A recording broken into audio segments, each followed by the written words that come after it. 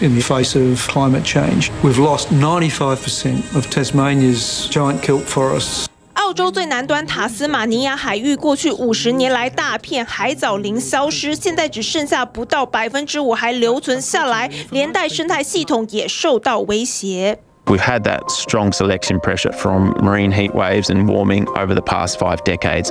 破坏珊瑚礁和海藻的共生环境，最大元凶就是暖化。科学家现在决定从存活的海藻中寻找出它们的抗热体质。We are looking at the genetic diversity of what's left and trying to understand that and bring that back into the forest.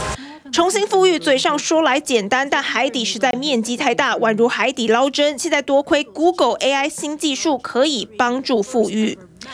For this project. We're analyzing 7,000 square kilometers of satellite imagery, which just would have been incredibly difficult to do with traditional computers. 透过 Google 团队制作地图，加快制图速度以及确认所有海藻状态的过程。另外，还能迅速分析抗热基因。To 80% of species that we find on our reef here